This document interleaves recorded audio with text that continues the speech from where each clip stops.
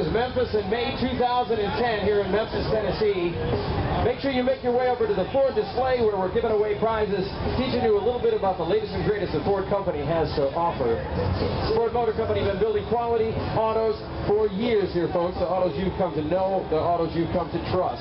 With safety, features, convenience, and style.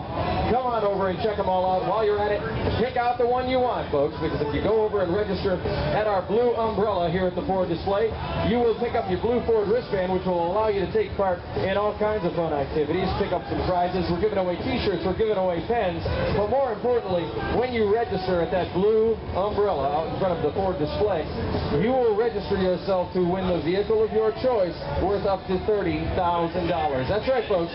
Spend a couple of minutes and pick out the vehicle you'd like. Then make your way over to the umbrella, register, pick up your wristband, and see if you can win one of these babies and drive it home. Drive one.